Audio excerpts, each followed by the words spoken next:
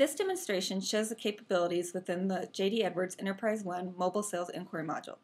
This functionality is intended for a salesperson who is at a customer site and needs to look up information on the customer's orders, determine the current availability of an item, and give the customer the starting list price of an item. These are simple inquiry tasks that do not allow the salesperson to edit the information or create new sales orders. For this demonstration, I am using an iPhone. I click the mobile sales icon on the home screen to launch the application. I am then taken to the user authentication page. I enter my username and password to log in. This is the same user sign-on and password as the standard Enterprise One applications and uses the same security model. This demonstration is going to show you how to search for sales orders for a specific customer, filter the orders based on document type, and then review the details of the sales order. First, I will select the sales order inquiry option to review both the current and historical orders. The search filter form gives you many fields where you can actually enter values to help filter the sales order information. I want to locate the customer orders based on the name of the customer, so I'm going to select the search icon next to the sold to and then click in the customer name field and enter some text that I know is in the customer's name to locate that customer number.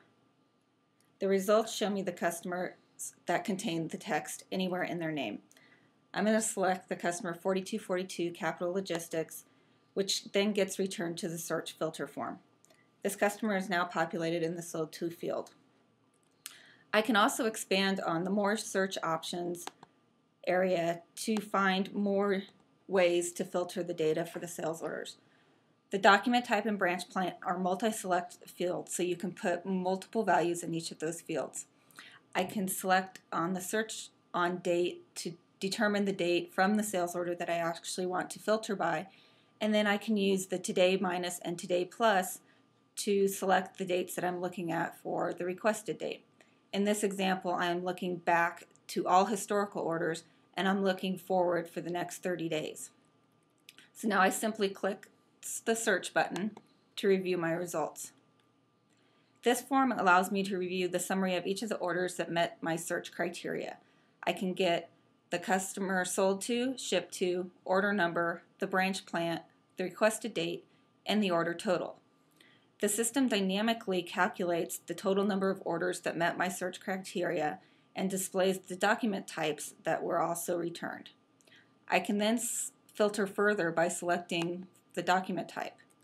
I want to only view the transportation sales orders, so I'm going to select doc type S4 from the list.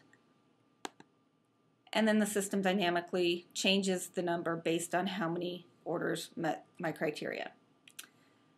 When I select on the order, I can see more detail information. So I can now see the total price for each of the items on the line and I can expand that to see the unit price as well as branch plant, more date information, a shipment number, and the next and last statuses from the, for each line on the sales order. So after I'm done reviewing the sales orders, I can go back to the home menu. I also need to inquire on availability for an item uh, for a customer. I select the item availability option from the home page where I can locate available quantity for the different locations. I want to find the availability for item 220 in branches 10 and 30. This item is already populated as well as the branch plants because I saved these values from an earlier search criteria. So I can quickly, quickly click the search button and see the total quantity available for both of those branches. You can see I have two branches which with quantity available, a total quantity of 8,005. Typically, my, branch, my customer gets sourced out of branch plant 30, so I'm going to select on branch plant 30 to see more detailed information. I can review the three locations that within branch plant 30 that have inventory. You can see that there's plenty of stock for my customer to purchase. The customer typically doesn't purchase this item, so I'm going to give them a starting list price. I can simply click the price button from here and then I can review the current base price for the item in the different units of measures and the different currencies. If I needed to, I could click on the availability button to return to the item availability and look at inventory in another branch. Or I could click on the filters button to go to the base price search form and look for the price for the item in another branch. I found all the information the customer requested, so I can now return to the home page. This concludes the demonstration. Thank you.